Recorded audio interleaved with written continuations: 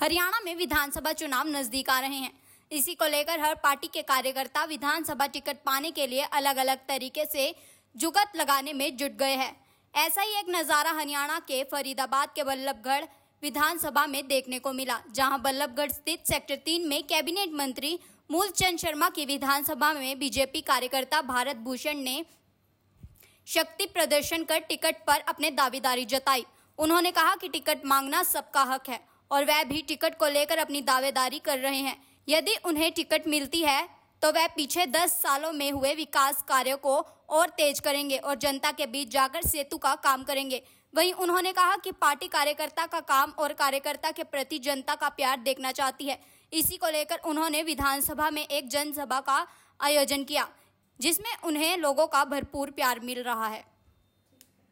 आज तमाम कार्यकर्ता इकट्ठे हुए हैं और एक अलग माहौल जो है वो नज़र आ रहा है। क्या कहेंगे जो है, जो कार्यक्रम देखिए, मैं मैं तो सिर्फ़, मैं तो इतना ही कहना चाहूँगा कि आपका सभी कार्यकर्ताओं का स्वागत है और बल्लभगढ़ का जो असीम प्यार मुझे मिल रहा है, ये मैं आपको बताना चाहूँगा, मुकेश जी, मात्र चार कॉलोनियों का प्रोग्राम है। Nar Singh colony, Shiv colony, Bhagat Singh colony और सेक्टर तीन।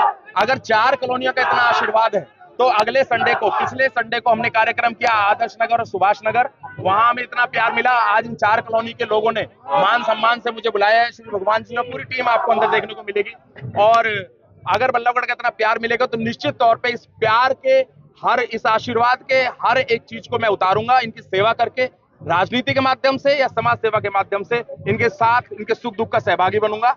तभी मैं इनका ऋण उतार पाऊँगा। इस कार्यक्रम से क्या माने कि भारत भूषण बल्लभगढ़ विधानसभा से तैयारी कर रहे हैं पूरी तरीके से माना जाए? देखिए ये तो बहुत पहले से स्पष्ट था कि मैं अब से नहीं पिछले तीन साल से बल्लभगढ़ की जनता की सेवा कर रहा हूँ राजनीतिक रूप से भी। लेकिन अब समय आ रहा है राजनीतिक इलेक्शन पास है तो पार्टी आला कमान के आदेश पे हम सब ये कार्य कर रहे हैं। और कहीं ना कहीं हमें ये पता है कि पार्टी आला कमान कार्य देखना चाहती है तो आप देख रहे हैं युवाओं का प्यार मात्र शक्ति अंदर बैठी है बुज़ुर्गों का आशीर्वाद।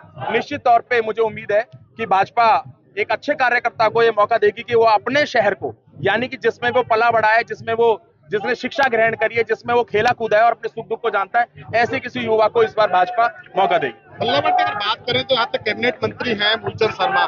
क्या लगता है कि अगर भारत भूषण को जनता चुनती है तो क्या ड्रीम प्रोजेक्ट रहेगा बल्लभगढ़ के लिए जो देना देख- चाहेंगे? देखिए बल्लभगढ़ मैंने पहले भी कहा एक ऐतिहासिक नगरी और ऐतिहासिक नगरी होने के नाता कहीं ना कहीं जो वर्चस्व बल्लभगढ़ का हरियाणा विधानसभा में गूंजना चाहिए, जो आवाज़ गूंजनी चाहिए, वो मैं चाहूँगा कि एक बार पुनः वही शान हमारी लौट करके आए, बल्लभगढ़ एक ऐतिहासिक नगरी के रूप में जानी जाए और हमारे प्रयास रहेगा कि बल्लभगढ़ का जो विकास पिछले दस सालों में भाजपा सरकार ने किया है, उसको और तेज किया जाए और विकास और विकास करने वाले लोगों के बीच में, यानी कि नेता और आम जनता के बीच में एक सेतु का काम बनने का मेरा कार्य रहेगा। मैं एक सेतु बन के जन जनसेवा करना चाहता हूँ और बल्लभगढ़ की आवाज़ को विधानसभा में उठाना चाहता हूँ। बहुत सारे और भी कैंडिडेट जो मैदान में है। अब ऐसे में भारत भूषण के लिए कितनी बड़ी चैलेंजिंग की बात है कि इतने सारे लोगों के बीच से निकल करके एक जनता के बीच में जो है वो जाना उनके दिलों पर राज देखिए मुझे ज्ञान नहीं है कि माननीय मंत्री जी तो यहाँ कैंडिडेट हैं भी और मंत्री भी हैं, वो तो मेरे बड़े भाई हैं, उनका हमेशा सम्मान रहा है। लेकिन उसके अलावा मुझे ज्ञान नहीं है कि मेरे अलावा कोई भाजपा का कोई कार्यकर्ता यहाँ विधानसभा मांग रहा है। और मुझे निश्चित ये उम्मीद है कि अब कोई दो महीने बचे, आएगा भी नहीं। तो हमें और मंत्री जी है, जिसको प्रसाद मिल जाए, सब अच्छा है। फरीदाबाद से मनोज सूर्यवंशी की रिपोर्ट।